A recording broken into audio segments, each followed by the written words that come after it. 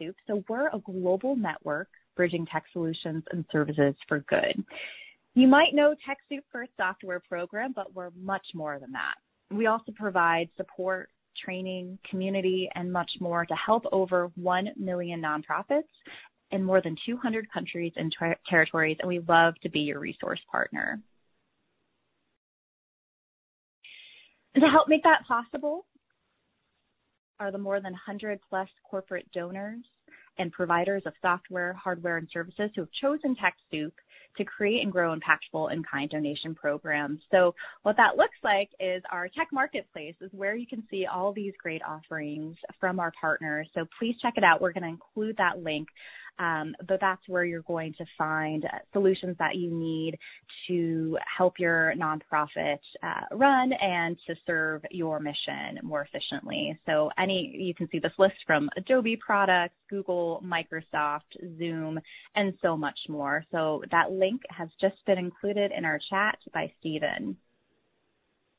All right, so before we get to today's content, there's one last thing. I want to share this special resource page at TechSoup.org for nonprofits impacted by COVID 19. So, as I've mentioned, TechSoup is committed to equipping your nonprofit with the tech resources that you need to meet your mission. So, that's why we've compiled these resources, which include things from tools to support remote work, webinars like this one, related blog posts, free courses, and much more we're always updating this page with the latest resources, so it's a really good one to bookmark and it's a great one to share with your community. And thank you, Stephen. He's just included the link for this page in the audience chat. Okay, and once again, we've got some questions if um, this presentation will be shared. And yes, you will get a copy of this presentation and the recording and any links that we mention in an email 24 to 48 hours after this webcast. All right. On to today's introduction. So once again, I'm Nicole at TechSoup, and we're joined by Stephen Davidson, who is assisting our chat. And on today's webinar, we're also joined by Knowbility's Director of Education, Jessica Looney, and accessibility advocate, Jillian Fortin. Welcome. We're so happy to have you here, and we'll let you take it away. Nicole, thank you so much for having us today, and thank you, TechSoup, for all of the work you do for all the nonprofits all over the world. And I'm so happy that Knowbility can be one of the resources to provide today. Uh, and as she mentioned, I'm Jessica Looney. I'm the Director of Education for Knowbility. We're going to talk a little bit about our program that's called the Accessibility Internet Rally today and also everything you need to know about web accessibility and why you should advocate for it, which is really the reason we're here. So as I move through, I'll just start with, we already got introduced, so I'm joined by former staff member and current volunteer Jillian Fortin, who is an accessibility advocate, has worked for Knowbility, and has an exceptional knowledge in accessibility, and I'm super grateful that she's here today joining us and she'll be speaking to you a little bit more and getting more into the weeds about some of the accessibility features we're going to talk about in the beginning. So she can talk a little bit more once we get to a little bit down further in the slides. But I guess I'm going to start with what my superpower is because I thought, you know, that's a good way to start. So I believe that my superpower, at least these days, is humility. I'm going to go with that one. And with that, I will move on. So accessibility. So let's talk a little bit about this. When when we talk about accessibility, we, we think a lot of times in terms of standards or adherence to standards. But it's really important to remember that accessibility is really about inclusive design and it's for like real people with real human needs so that people with disabilities can acquire all the same information, participate in the same activities, and produce and manage content. So you'll hear me say inclusive design several times throughout this presentation because it's really what it's about. It's including everyone. So why advocate for it? Why advocate for inclusive design? We start with, we've got this legal up here, technical, humanitarian, visionary, all of these are super important. But when I think about working with nonprofit organizations, I think mostly about market I believe most of us are humanitarians or maybe visionaries in the sense that we care and we have passion for a cause. And there is the technical aspect, but I think it's important to remember, and the legal aspect, of course, it is it is the law, but it's important to recall your market and think about your market and who those people are. And we'll talk more about that a little bit later too. And also thinking about what it means in terms of the number of people that have disabilities and how your market relates in that particular sense. And I'll get into that a little bit more as well. So you don't have to take my word for it or our word for it because we have people that we know who are coming from different perspectives. And so I have included several videos here with links and hoping that they will work when I click on them. I'm not sure who can actually get to that or if they can get to that. This might be, I'm not seeming to be able to get to it, but let me talk a little bit about we'll include it in the audience chat. Okay. Yep, we'll include those links. Great. Okay. So just speaking about these videos are from the W3C perspectives and it's a really wonderful place to go just to get a perspective on the different types of assistive technologies that are out there and different ways that people communicate through assistive technology. These are particular folks that we know here in Austin, Texas, which is where I'm from and Jillian's from, or at least she lives here now. And uh, so Desiree has been a long-term friend of ours, and she uses the text-to-speech feature. And I think it's a good, I mean, I think it's really good to go look at these videos because it gives you a really good sense of how she uses the technology and demos it for you in a very good way. It's not actually her, but that's the person we know who uses this technology. And it really changed her life when it became available because she was blind from birth and only knew how to use Braille uh, when she was very young, but there were no technologies that worked for her as a young person in school. So now that she has the text to speech feature, she's able to do a lot more in terms of you know, work. And now she has a wonderful job and she she works from home and has been for many many years. And she's got three kids and she's a full time mom, so it's it's pretty miraculous. Uh, Gene Rogers is another person, and I can say his last name because he is actually of the Gene and Dave show, which if you have not ever seen it, you should go check it out. It's really fantastic. But Gene uses keyboard compatibility and actually uses what is similar to like a straw to to talk with to use to tap on his keyboard because he has mobile impairments. So another video that you should go and, and check out is for keyboard compatibility.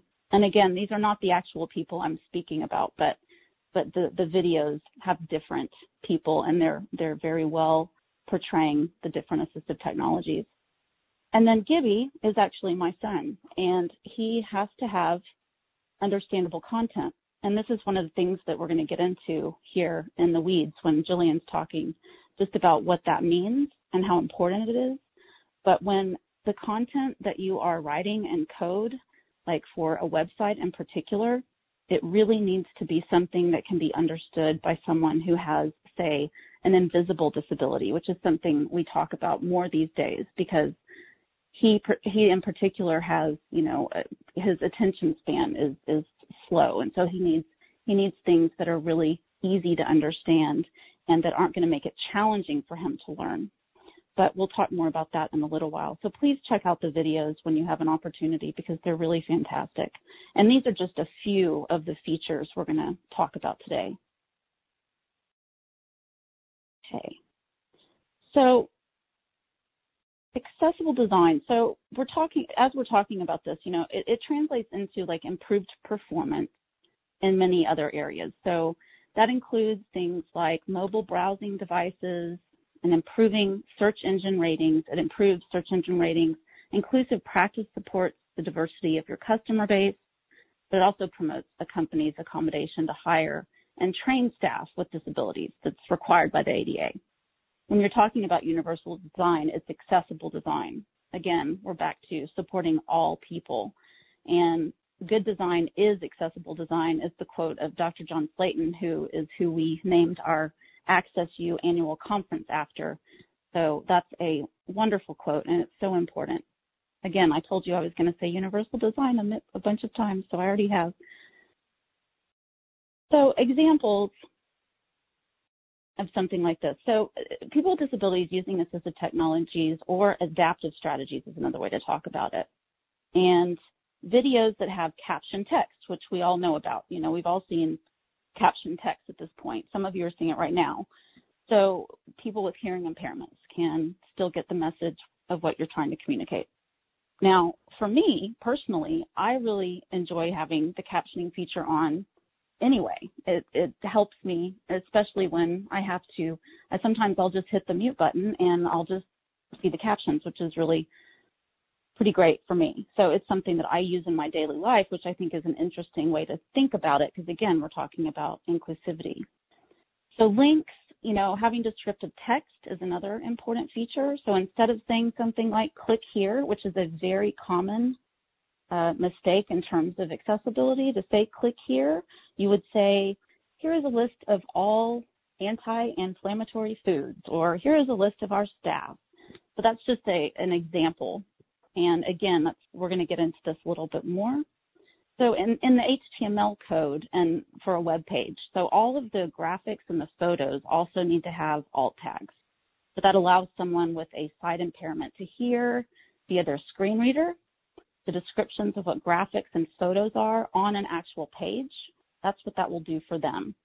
And then all of text that is within a graphic is represented as text somewhere on the page. So this, this, all of these are, again, features we'll get into more in a, in a minute, but sort of an overview of how assistive technology, such as screen readers, magnification devices, and keyboard shortcuts can can work properly. So one in four adult Americans have a disability. And I mentioned earlier how, as a nonprofit, I think it's really important to know this, this fact because it's nearly 1 billion people worldwide. So if you're a nonprofit, you have clients, you have funders, you have staff, you have volunteers, donors, and unless you're contributing accessibility or building accessibility and inclusive design into your your web and into your website, then you're not actually reaching your 100% of your customers or your clients or your volunteers or donors. And just thinking about it in terms of also having temporary disabilities, which is something I've been thinking about a lot recently because I sprained my ankle sets me back. You know, I, I'm not able to do certain things that I'm used to being able to do. Uh, you know, having a son that has a slight disability also is a challenge. And so it makes me think about it from different perspectives. Elders, a lot of our clients are, are elders and, you know, again, my father, elder, he has disabilities just from simply aging. So I think thinking about it from that perspective and just understanding that it's not just people with disabilities, meaning, you know, say a mobile impairment for life or blind, you know, it, it can mean a lot of different things. And so when we're thinking about it, we should think of it as an inclusive, inclusivity and diversity. So that is sort of the, and then of course the legal obligation, which I, I tend to stray from a little bit as a nonprofit just because I feel like that is yes, we are legally obligated, but I think it's more important to address the humanitarian and the market and, and all of those other things we talked about before. So with that, I'm going to let Jillian kind of go through what we've just kind of the overview we've done so she can talk more about exactly what these features are and how they work. And I think it'll be really useful. So I'm turning awesome. it over to you, Jillian. Great. Thank you so much, Jessica and thank you so much for um, for creating a really solid foundation for the rest of the presentation. Um, I know a lot of these concepts can be overwhelming when you're looking at them in um, a bulleted list or whatever you're reading and thinking about all the things that you need to do. Um, but our job and our goal is to help introduce you to some really quick wins that you may or may already be uh, uh, you may or may not already be doing, but that you can quickly do to get you a good portion of the way there. So before I dive in, um, just if you wouldn't mind navigating to the audience chat and just sending me a quick yes if you are involved in updating your organization's website, creating documents, managing, managing social media channels, just hit me up with a quick yes or hit, um, okay, awesome. Thanks, Rebecca. Courtney, Christy, great. Um, awesome. Perfect. Thank you. Okay, we've got a lot of digital content managers on the line. So um, that is super helpful. So I know a little bit more about how to navigate the um, the conversation. So a few common barriers that I'm going to be introducing to you in the next section um, go, uh, you know, taking a look at the bulleted list here. We've got your, your website page structure. You've, we've got the reading order of the content on your site, um, some keyboard focus items that you may not be aware of if you use a mouse some text alternatives. We're going to talk a little bit about color contrast as well, link text and multimedia. So that's images and videos. And I do see a really great question in our Q&A regarding alt text, like Jessica mentioned. So I'll be, I'll be sure to touch on that here um, during our conversation. So the first thing is page structure. So if you and your organization is using a content management system like uh, WordPress or Squarespace or Wix or um, you know maybe you have a custom website template that lives on your own hosting. Um, you may know that when you go to edit, edit a page, there are different little chunks or areas. So they all pretty much follow the same um, sort of anatomy, which we've which we've uh, pasted on the right.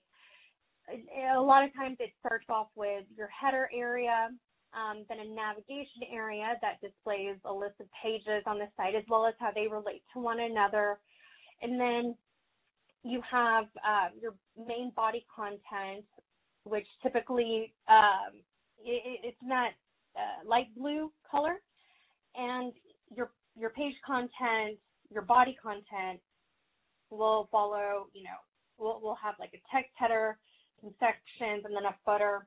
Um, and then on the right, you'll see that pink area um, that will sometimes house uh, snippets or announcements or sometimes even ads if you use your website to help monetize and bring some revenue into your organization. But there is there is um, a method that you want to follow whenever you're organizing all of the different content on your site.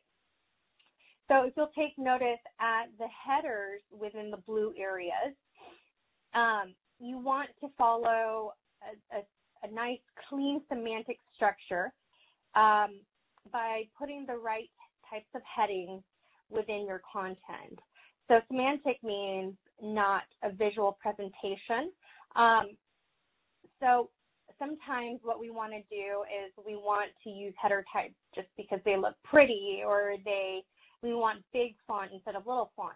Um, you want to work with your web developer to identify, um, you know, the the right types of headings to use. Usually, your headings will be called like a header one or a header two, and what that does is it allows folks to use um, screen reader technologies to be able to call up these different types of um, oh, is my low? Okay. Um, to use up these different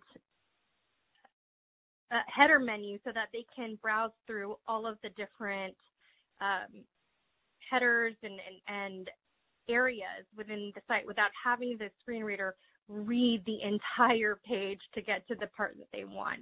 So it it helps them um, it helps them get around your site with with a lot more ease.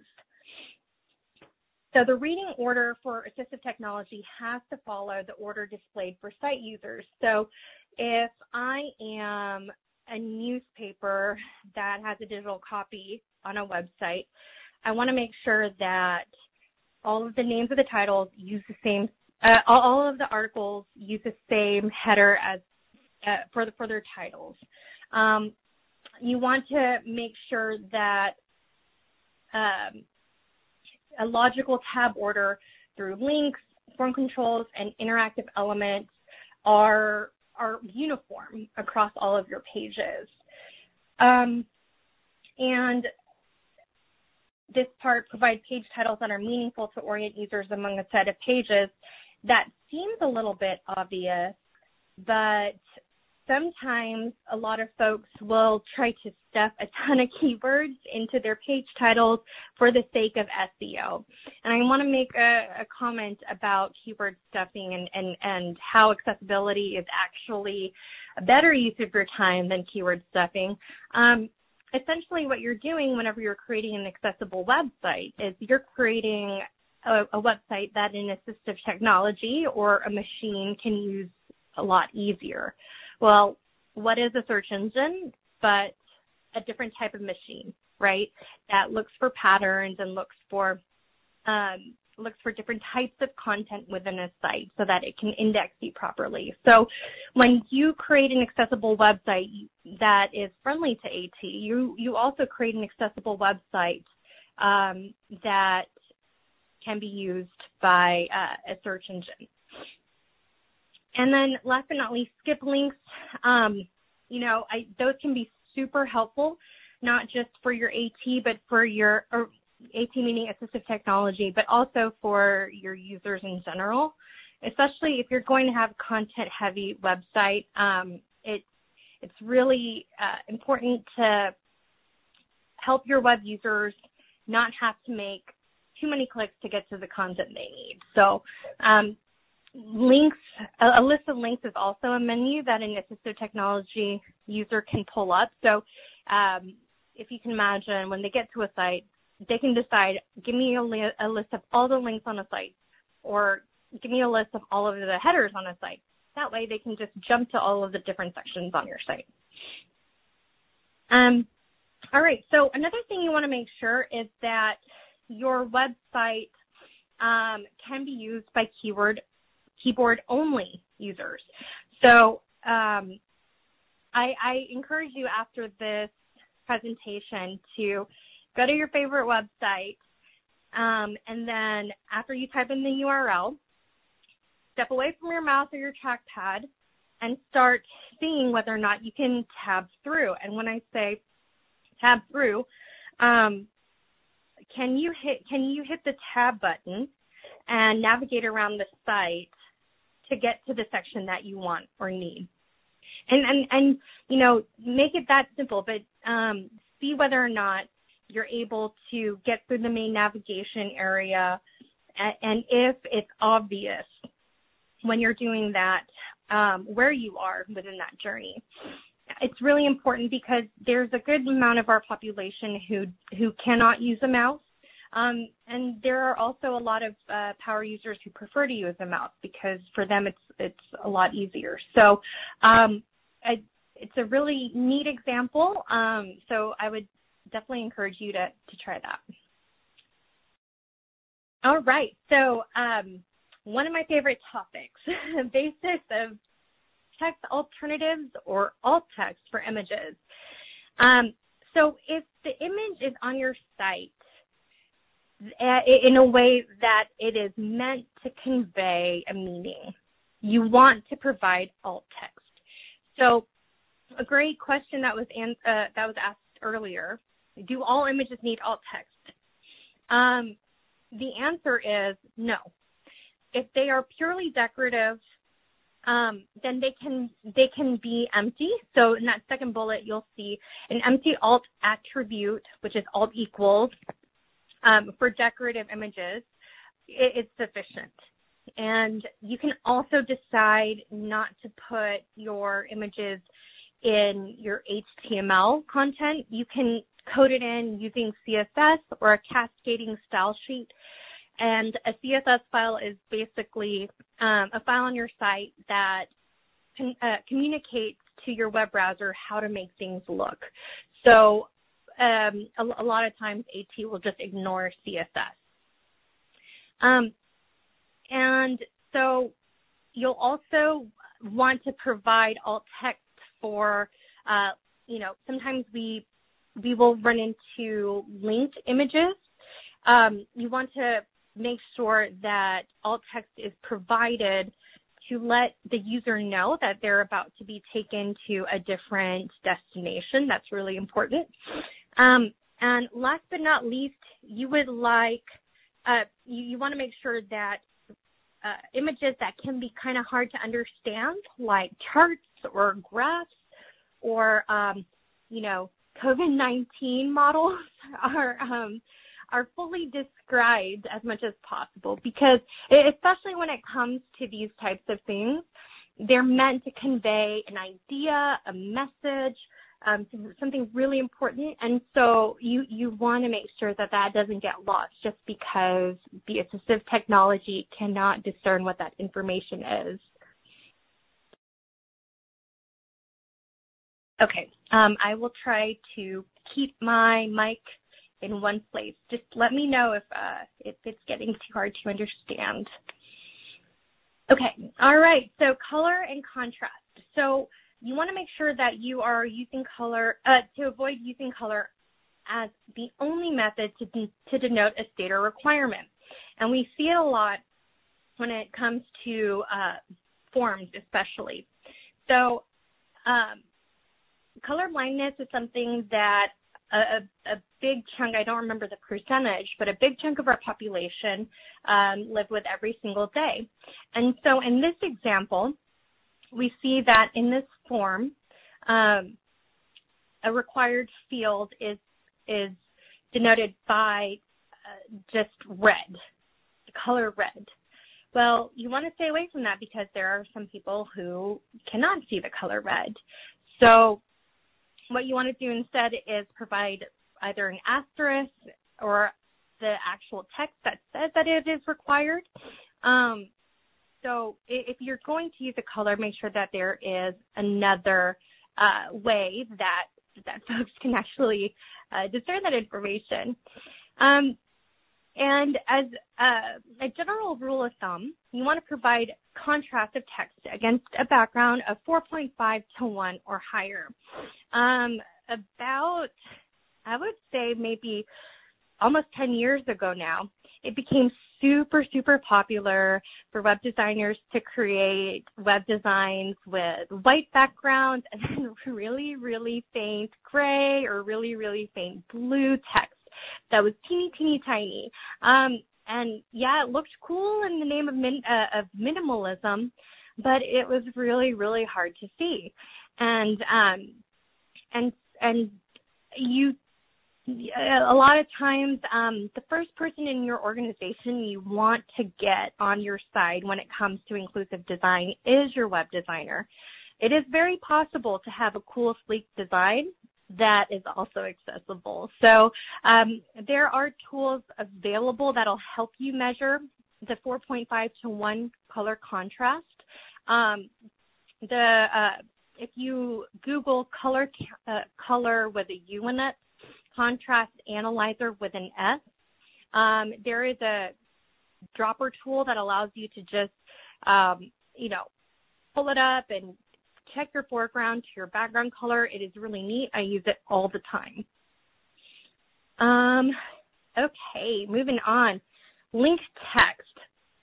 So you want to specify link text, um, you know, instead of just saying click here or uh, read more. Um, here, here's something you you might want to check out as as an experiment also. Um, the next time you get an email newsletter from your favorite website or mailing list, you want to uh, notice, take notice of how many times the phrase read more or read here or learn more, click here are used. Well, if I'm a if I'm a blind user and I'm using uh, a screen reader software, and I pull up a list of links and I hear click here, click here, read more, read more, that doesn't actually tell me where I'm supposed to be going, so I have to guess. Um, so you want to be able to uh, you want to be able to make your your links a little more obvious. Um, so instead of saying read more or click here, you could say something like, uh, read, um, read more about the Cuban Missile Crisis or learn more about Knowbility's programs. Um, so uh, that's it, and it takes some practice too because sometimes they can be really really long. Um, so you it I instead of it being hard, I like to think of it as a unique design challenge. Okay, so um, a next quick win you can take a look at is how accessible are your media files? So um, you want to, if you're using video with your organization, you first want to make sure that your media player is keyboard operable. And in the last, um, in, in the last uh, few years, a lot of our popular media players like YouTube and um, YouTube and Vimeo are uh, they they've really made major strides in making their their players uh, keyboard operable, um, especially Vimeo. Um, they and I, and I do want to just um, say that they've they've worked with us to help make their media player keyboard operable and more accessible. So um, we know that to be very true whenever I say that. Um, and then you want to make sure that you caption all of the audio content on your video and make sure to synchronize to on-screen actions if you are going to use those types of functionalities.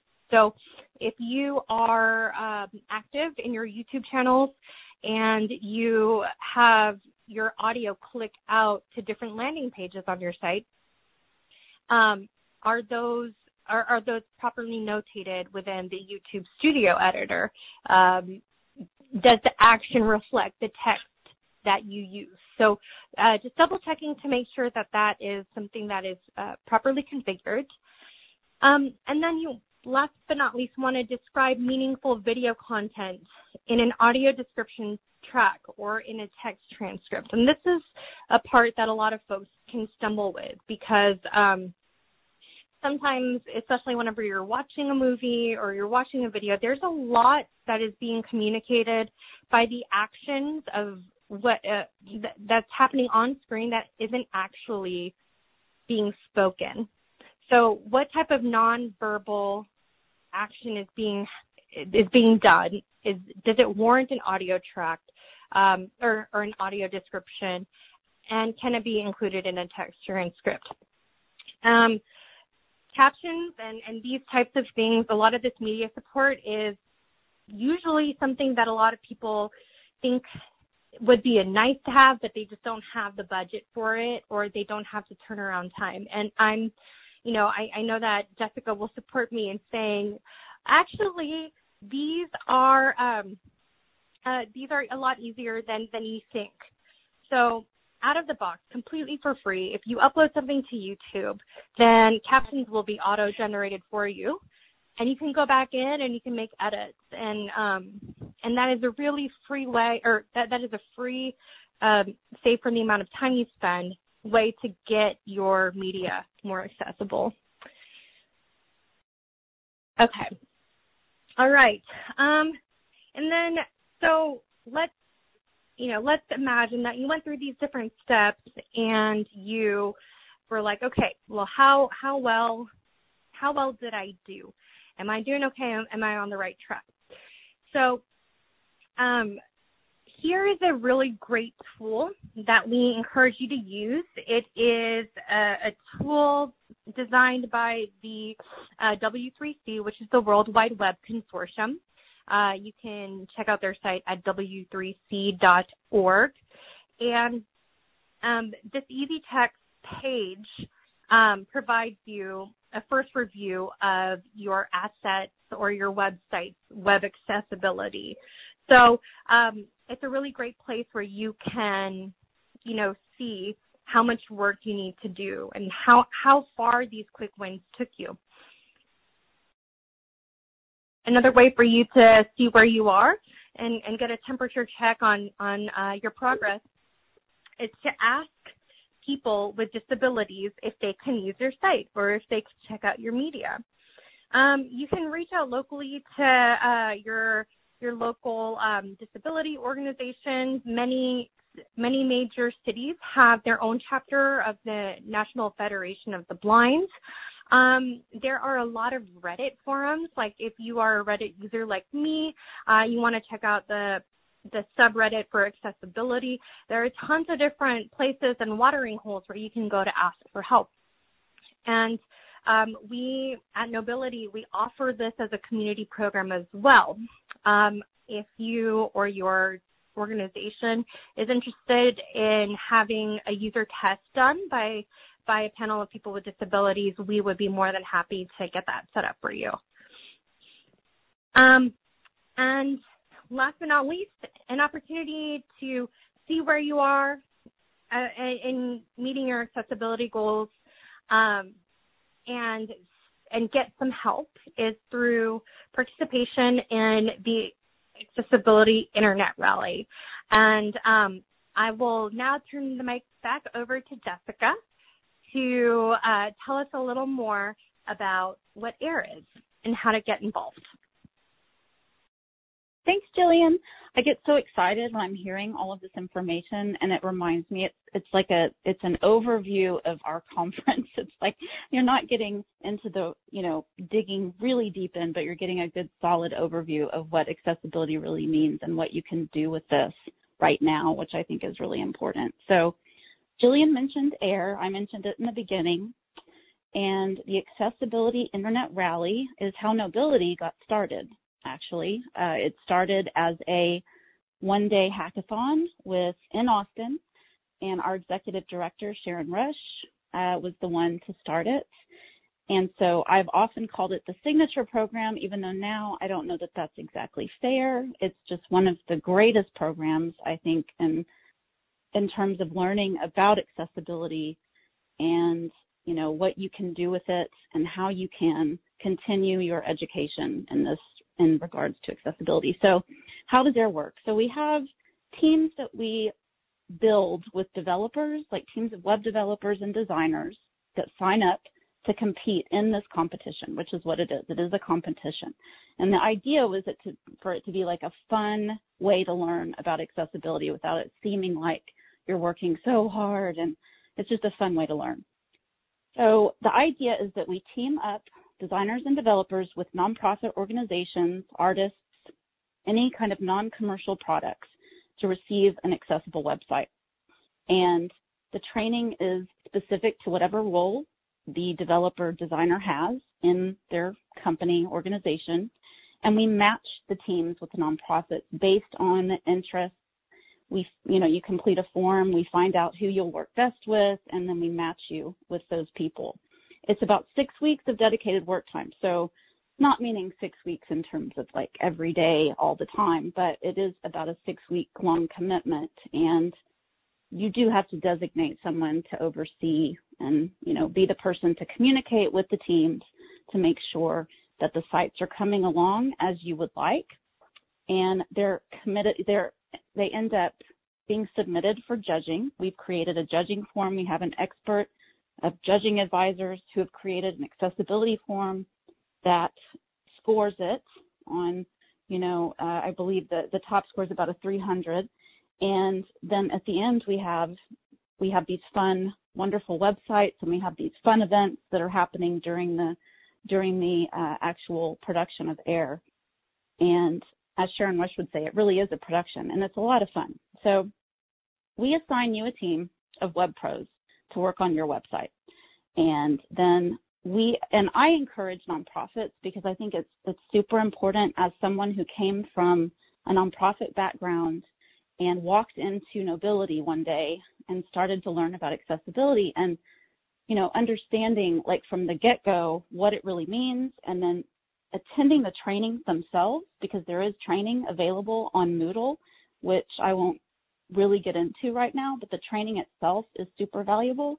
So I always encourage the nonprofits to be as involved in that training process as possible so that then when you are complete, like when the project's complete at the end of the six weeks, that you can then continue to update your website to keep it accessible, not just to have it be accessible at the very beginning. So we assign you a team And what the projects receive from this is they get the training with the client and the team project management feature. There's mentoring from our staff.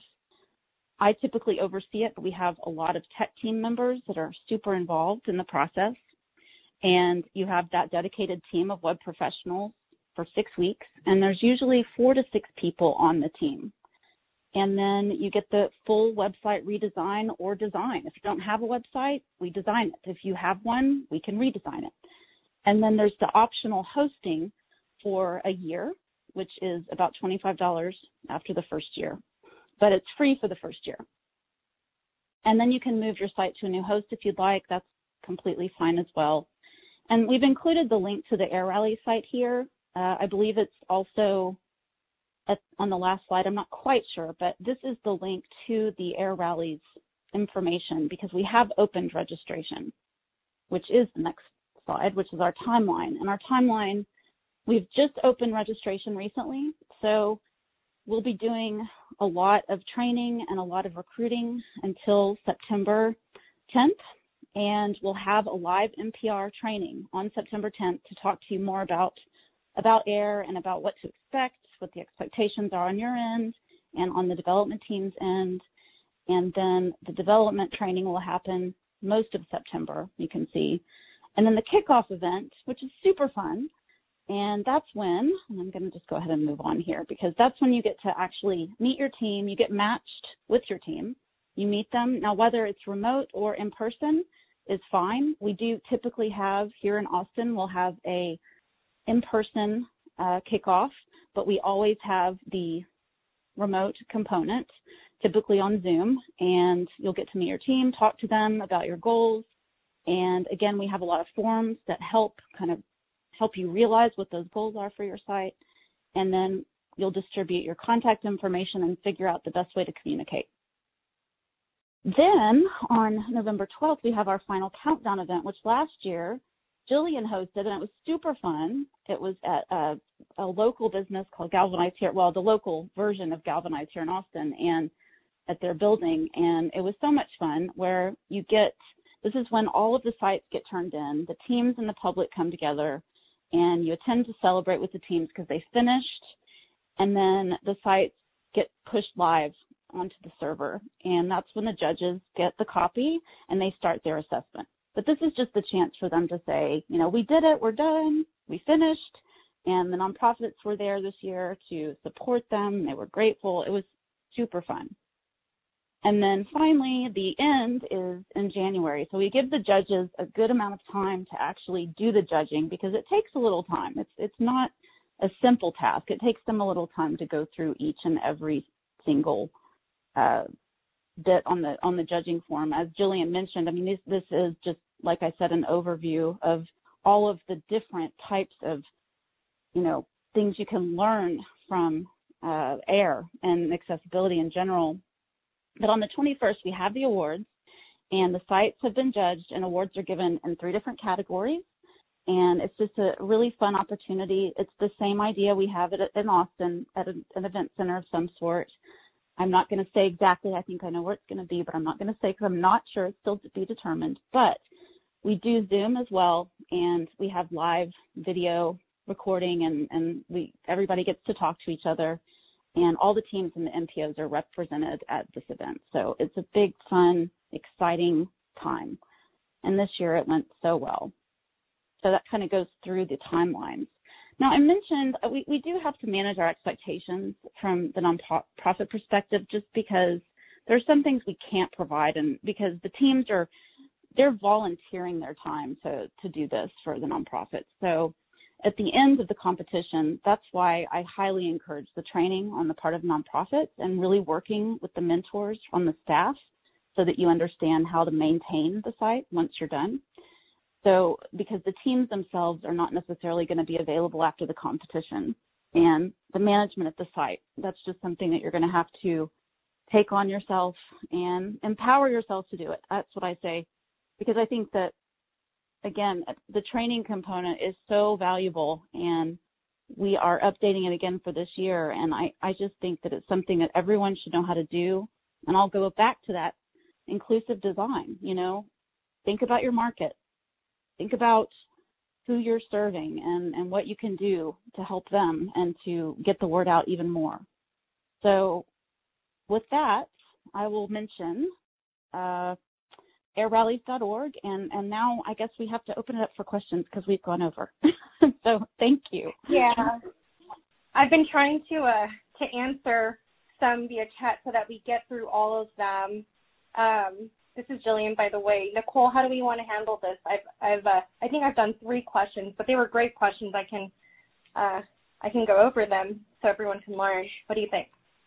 Yeah, I think that would be great. And just first of all, thank you so much, Jillian and Jessica. This is such practical information that nonprofits can take back to their organizations. So, so first, just a thank you for your thoroughness. And yes, Jillian, I think that would be fantastic if you can cover the questions that you did answer. We'll start there. Okay. We've got some other questions. Awesome. I will try to limit it to like uh, maybe one minute per question. And Jessica, if you have any input, just let me know. Sure. Um, okay. So the ones that we did earlier, they were really great. Um, the question was, um, what you know, how do drop-down menus impact usability, particularly for users who don't use a mouse or a touchpad? Which is a fantastic question. I think drop-down menus can be really great. Um, my own preference as a user is to include them because I want to be able to see what page is live beneath. Um, they can be used with no problem if done correctly. And if you, I, I, don't know if you can see the answered tab, but I've included a list um, or a, a tutorial on how to do flyout or drop-down menus. And a great example for you to check out is actually Target's website.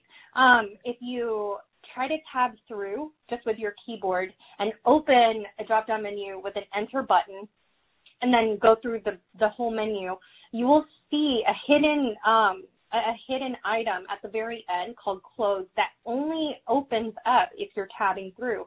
So you can you can call upon that that hidden element that has been coded in for your convenience, so you can have um, a richer user experience. Um, so hopefully that helps. Um, another question was, what about labels inside of form fields? So you want to make sure that each form input only has one label. Like whenever you're coding out a form, um, there is like a, a different, a, a certain uh, code snippet called label, um, and that the label, the actual text label inside the, the form um, meets color contrast requirements. And, um, you know, we recommend a font size of, of 14 or higher. Um, and I included a link to a tutorial on a on a community website called webaim.org as well. Um, so hopefully that is helpful. Another question that I see um, is, let's see, oh, to follow up the drop-down menu question since we're on this topic. Um, so it's the same sort of rule as creating um, navigation. You want to stay like under nine items if at all possible. Now, granted, when it comes to uh, design theory, there are other websites. It, it, it, depending on the type of website, you you know like if you're on Amazon or if you're on New York Times, those uh, those requirements don't always apply to you because your user understands that they're going to be met with a plethora of menu items. So um, just a good rule of thumb, just in general, based on design theory, you want to stick between three and nine, but there are obviously always um, examples for you to not not uh, adhere to those rules. Um, what are the best platforms for engaging closed caption? I can give you our um, preferences. We we use Rev.com um, because we are a nonprofit and we are also Austin based and they have an office here. Um, but also if you're if if you have a smaller budget, um, we we use the YouTube trick all the time where we let the auto-generated captions kick in and we just go in and edit it. A lot of times it's easier to edit it than try to transcribe it yourself.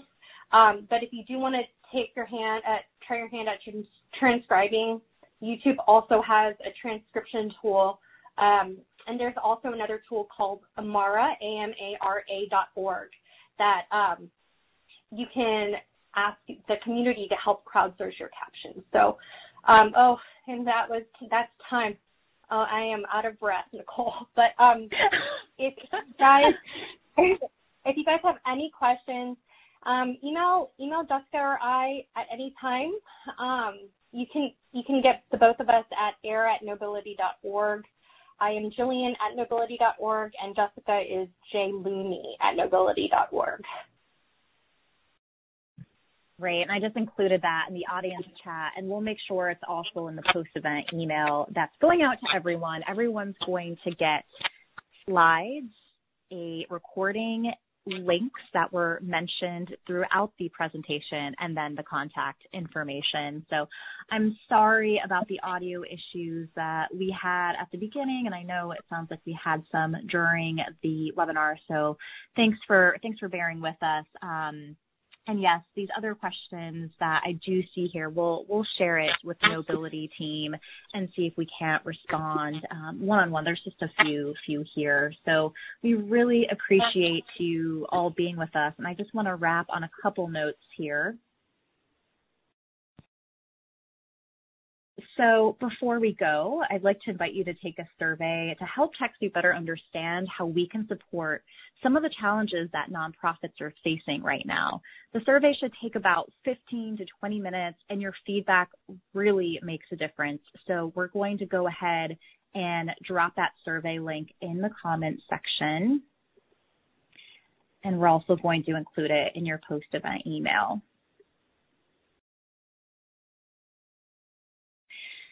And then we also have some other events coming up, so stay tuned. You can check out our full lineup and our past events at TechSoup.org slash community hyphen events. And it looks like our audio has disconnected again, so hang with us if you can still hear this. We're wrapping right now. We also have a post-event um, survey going out that helps us with this with this webinar. So if you can please take the post-event survey. And apologies again for all of the audio issues, but yes, a shout out to our captioner at Texas Closed Captioning. Thank you.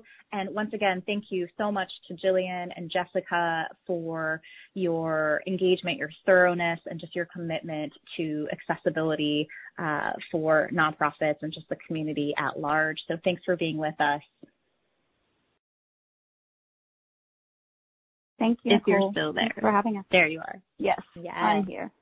Thank you for having us. Great. We appreciate it. Absolutely. All right. And to everyone, thanks again for joining us. And we look forward to seeing you at a future virtual TechSoup event. Until then, take care. Stay safe. Bye bye.